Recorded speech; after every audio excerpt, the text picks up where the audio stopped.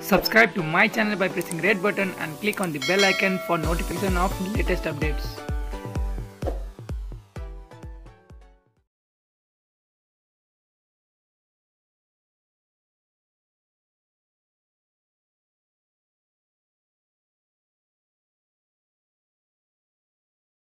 उपसभामुख शिवमया तुम्बा हाम्पेले आफ्नो आएको अडानमा कायमै रहँदै माघ छ गतेसम्म पनि राजीनामा गरिनन् र सभामुख निर्वाचनको प्रक्रिया अगाडि बढाइएन भने के होला?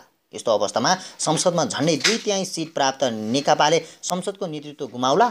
अनि उपसभामुखलाई राजीनामा गर भन्ने संवैधानिक अधिकार नेकपासँग छ? सभामुख पदमा रहेका बेला साम संसद सचिवालयमा कार्यरत कर्मचारीमाथि बलात्कार प्रयास गरेको आरोपपछि कृष्णबहादुर महराले राजीनामा दिएको परिस्थितिले यो र यी यस्ता प्रश्नहरू उब्जाएका छन्। तुम्बा हाम्पेले स्वत आफूलाई नेकपाको सभामुख बनाउनु पर्ने अडानमा छिन्। नेकपाको पूर्व माओवादी खेमामा सभामुख बनेका महराले असोज चौधमा राजीनामा दिएदेखि नै तुम्बा हाम्फेले पदोन्नति हुनुपर्ने माग सार्वजनिक रूपमा र पार्टीका नेताहरूसँग राख्दै आएकी छिन्। पूर्व हिमालयबाट समानुपातिक सांसद र उपसभामुख निर्वाचित उनी महराले गरेको गल्तीको सजाय आफूलाई नदिन सञ्चार माध्यममा र पार्टी नेताहरूलाई भन्दै आएकी छिन्। उनले आफू संसद हाँक्न योग्य रहेको भन्दै योग्यताको सूची समेत पार्टी नेताहरूलाई बुझाएकी छिन्। सभामुख आफ्नो पार्टीबाटै हुनेमा नेकपा अडिग छ। संसदीय दलका उपनेता तथा सुभाष सभामुख पदका दावेदार समेत रहेका पूर्व सभामुख सुभाष चन्द्र निवाङले नेकपा बाहेक पार्टीले सभामुख नपाउने बताउँदै आएका छन्। एकल बहुमत भएको पार्टीले अन्य पार्टीलाई संसदको नेतृत्व दिने कुरा कल्पना पनि गर्न नसकिने उनको भनाइ रहँदै आएको छ। नेकपाका अन्य नेताहरूले पनि सभामुख नेकपाले पाउने भनिरहेका बेला नेकपाभित्र सभामुख पूर्व एमाले पाउने कि पूर्व माओवादीले पाउने भन्नेबारे अध्यक्ष दुवै केपी शर्मा ओली र पुष्पकमल दाहाल प्रचण्डबीच सङ्घर्ष जारी छ। प्रचण्डले सभामुख पनि पूर्व एमालेलाई दिँदा जम्मै संविधानिक पद पूर्व एमालेलाई हुने विगतमा मुख्य पद बाँडफाँडका क्रममा सभामुख आफूतिर परेकाले अब पनि उक्त पद आफूले नै पाउनुपर्ने दावी गर्दै आएका छन्। पूर्व माओवादीका दोस्रो तहका नेताहरूले प्रचण्डलाई कुनै पनि शर्तमा सभामुख नछोड्न दबाब दिइरहेका छन्। ओलीले चाहना भने आफूलाई सहयोग गर्ने व्यक्तिलाई समामुख बनाउने चाहना हो। महरा सभामुख हुँदा संसदबाट चाहेको जस्तो सहयोग नपाएको अनुभव गरेका उनले नेवाङलाई सभामुख बनाउन चाहेका छन्। सभामुख बारेको छलफलमा पार्टी एक भइसकेकाले पूर्व एमाले र पूर्व माओवादी भन्न नहुने ओलीले तर्क राख्दै आएका छन्। दुई अध्यक्ष बिचमा सभामुख कसले पाउने भन्ने सङ्घर्ष जारी रहेको बेला उपसभामुख तुम्बा हाम्फेले भने आफूलाई सभामुख बनाउने निर्णय गर्न नेकपा सचिवालयका नेताहरूलाई भनेकी छिन्। तुम्बा हाम्फेले आफूलाई सभामुख बनाउने निर्णय नगरुन्जेल राजीनामा नदिने बरु सोही पदमा रहेर काम जारी राख्ने बताउँदै गरेकी छिन्। आफूलाई उपसभामुखका रूपमा काम गर्न कसैले नरोक्ने संसद चलाएर कसैले नरोक्ने र चलाउने क्षमता आफूमा रहेको उनले सार्वजनिक रूपमा भन्दै आएकी छन्। उनले आइतबार पुस सत्ताइस गते आह्वान गरिएको प्रतिनिधि सभा बैठकमा नै सभामुख जिम्मेवारको प्रतिक्रिया अगाडि बढाउने घोषणा गरेकी थिइन्। भले नेकपा नेतृत्व भने उनलाई अब बस्नै संसद बैठकको अध्यक्षता गराउने र उपसभामुखबाट सभामुख निर्वाचनको प्रक्रिया अगाडि बढाउने पक्षमा छैनन्। जसको स्पष्ट सङ्केत नेकपाले हिउँदे अधिवेशनको पहिलो बैठकमा उपसभामुखलाई अध्यक्षता गराएपछिका लगातार तीन बैठक स्थगित गरेर दिइसकेको छ। उपसभामुखले सभामुखको निर्वाचन प्रक्रिया अगाडि बढाएर त्यसमा आफू पनि सहभागी भई संविधान मिचेको आरोप खेप्न पछिमा नेकपा नेतृत्व छैन। नेकपा सचिवालयको सर्वसम्मतिको निर्णयलाई उपसभामुख तुम्बा हाम्फेले चुनौती दिइरहेकी छन्। उनले आफूलाई नै सभामुखको उम्मेद्वार निश्चित गरेपछि मात्र राजीनामा दिने भनिरहेकी छन्। नभए उपसभामुखको रूपमा बैठक सञ्चालन गर्ने वा राजीनामा नदिने उनको अडान छ। संविधान अनुसार सभामुख र उपसभामुख फरक फरक दलको हुनुपर्ने व्यवस्था छ। नेकपाकी सामानुपातिक सांसद तत्कालीन एमालेबाट समेत रहँदै आएकी तुम्बा हाम्पेले उपसभामुख पदबाट राजीनामा नगरी सभामुख निर्वाचन प्रक्रिया अगाडि बढाएमा नेकपाले सभामुखमा उम्मेदवारी दिन नपाउने दलका नेता र कानुनविदले बताएका छन्।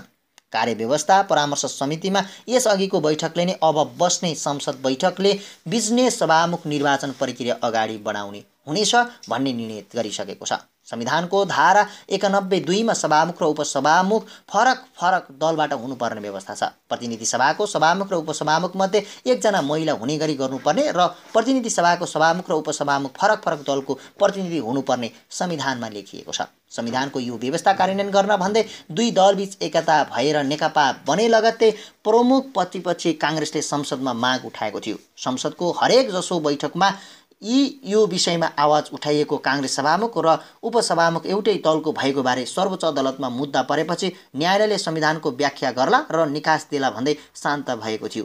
अहिले संविधानको यो व्यवस्था कार्यान्वयन गर्ने उपयुक्त बेला आएको काङ्ग्रेसको भनाइ छ। काङ्ग्रेस नेता रमेश लेखकले यसअघि नै सभामुखको निर्वाचन प्रक्रिया उपसभामुख तुम्बा हाम्पेले सुरु गरेमा संविधानिक प्रश्न उठ्ने भनेर प्रधानमन्त्री ओली र अध्यक्ष प्रचण्डलाई भनिसकेका छन्। सभामुखको कार्यतालिका सार्वजनिक गरेपछि उपसभामुख पदमा छ भन्ने बुझिन्छ। नभए सभामुख र उपसभामुखको निर्वाचन कार्यक्रमसँगै प्रकाशित हुन्छ बखेडा गर्ने होइन भने उपसभामुखले राजीनामा गरेर ज्येष्ठ सदस्यलाई निर्वाचन प्रक्रिया अगाडि बढाए राम्रो हुन्छ। उपसभामुखले सभामुखको प्रक्रिया अगाडि बढायो भने जटिलता उत्पन्न हुन्छ। लेखकले नेकपाका दलका नेता अध्यक्ष उपनेतालाई पनि भनेको कुरा सुनाए। सभामुख निर्वाचन प्रक्रिया तुम्बा हम्फेले नै अगाडि बढाएमा संविधानले नेकपालाई रोक्ने संविधानिक कानुन का ज्ञाताहरू भीमार्जुन आचार्यले बताए। उपसभामुखले नै सभामुखको निर्वाचन प्रक्रिया अगाडि बढाएको अवस्थामा नेकपाले सभामुख पाउन सम्भव हुँदैन। संविधानले नेकपालाई उम्मेदवार दिन मिल्दैन मिल्दै मिल्दैन जबरजस्ती गरियो भने त के होला र उनले भने संविधानमा नै सभामुख र उपसभामुख फरक फरक दल प्रधानमन्त्री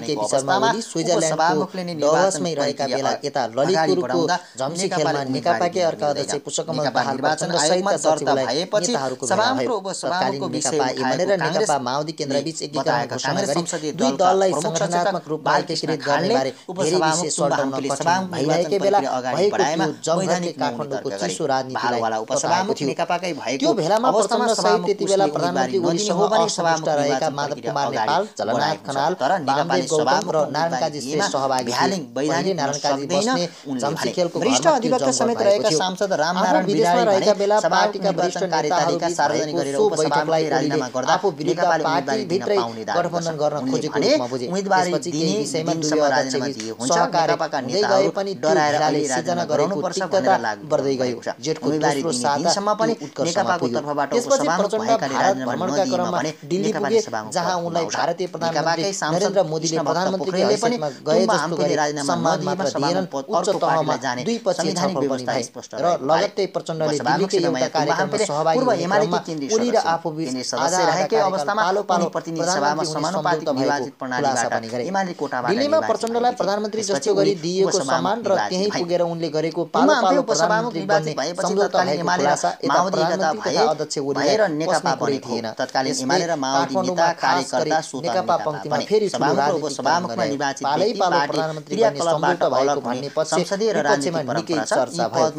नरेन्द्र मोदीको दोस्रो कार्यकालको समारोहमा सहभागी हुन दिल्ली पुगेका प्रधानमन्त्रीहरूले त्यहाँबाट जवाब फर्काएर भने त्यस्तो सम्झौता बाध्यकारी छैन त्यस्तो अभिव्यक्ति अस्थिरतामा लागि प्रधानमन्त्री र त्यसबेला उनले तत्कालका लागि राजनीतिक पार्टीमा प्रचण्डलाई कार्यकारी त्यस्तो र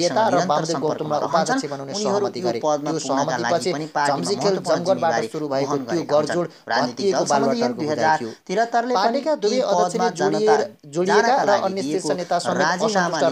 त्याग गरेको नमानिन सहज थिएन। सबै विषय तब मात्र टुङ्गिए जब अध्यक्ष र अन्य निर्वाचित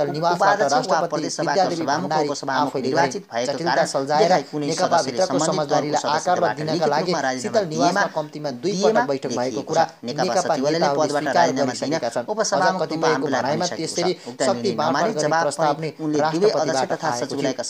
सहमति लागू हुन फेरि सहज त्यो सहमति लागू गर्न चाहेन भदौको पहिलो साता भएको सचिवालय बैठकबाट खनालाई त्यस्तो वरियतामा तय गरिएको पूर्व माओवादी उपसभालाई कार्यकारी अध्यक्षको जिम्मेवारी महिनापछि मङ्सिरको पहिलो साता नगर्न अध्यक्ष ओलीबाटै सङ्केत प्रचण्डलाई कार्यकारी अध्यक्ष बनाउने सहमति कार्यान्वयन गर्न शीतल निवासलाई फेरि अर्को बनाउन लागि परेका सचिवालय बैठकका लागि बोलाइएका नेताहरूलाई बालुवाडामा पुर्याएर ओली गराउन प्रचण्ड शीतल निवास प्रवेश गरे। आफ्ना गाडीमा शीतल निवास गएका दुई अध्यक्ष त्यहाँ पुरा पुगाएपछि एउटै गाडीमा बालुवाटार फर्के र सचिवालय राजी भएर उपसभामुख बैठक बनाएपछि संवैधानिक रूपमा मलाई पार्टीको कार्यकारी अध्यक्ष नसक्ने भएकाले म पार्टीभन्दा उपाध्यक्ष बनाउने सचिवालयको प्रस्तावलाई स्थायी समितिको बैठकले अनुमोदन गरेको छ। केन्द्रीय समितिले विधान संशोधन गरेर त्यसलाई गर्ने अपेक्षा गरेको छ। विवाद टुङ्गिएको दुई महिनादेखि थाहा पाउँदै अध्यक्ष बिचको समानुपातिक दरार आउने फेरि विवाद बल्झिएको छ। नेकपा खोजे पनि हुन्छ महिनाभित्रै दुई भाषामा भनेपछि नेताले खुला भएको नेताहरूलाई बनाउन चाहेपछि। ओली र प्रचण्ड बीच मतभेद चुलिएको छ गत बुधबार ललितपुरको। स्थित गौतमको घरमा अध्यक्ष सहित। सचिवालयका पाँच सदस्यहरू बीच भएको भेटघाटले सो मतभेदलाई थप बल्झाएको छ गौतमको निवासमा दाहाल खनाल भेला भएका थिए महिला कर्मचारीलाई बलात्कार प्रयास गरेको आरोप लागेपछि। नेकपाका नेताहरू भने कृष्णबहादुर तुम्बा महराले हामीले असोज सचिवालयको चौध निर्णय गते अनुसार राजीनामा राजीनामा दिएपछि दिने रिक्त पदमा विश्वास कसलाई छ। सभामुख उम्मेदवारी तय गरेपछि उनले राजीनामा दिनेमा उनीहरू छन्। दलका उपनेता नेकपाले कुनै पनि विकल्पमा अवस्था नआउने नेकपाले संसदबाट हटाउने र महाअभियोग लगाउने कुरा। आयोगको बारेको जिज्ञासामा भनेका थिए। विकल्पमा जानुपर्ने अवस्था छैन। अन्य नेताहरूलाई भेला पारेको भन्दै ओली रुष्ट भएका छन्। उपसभामुख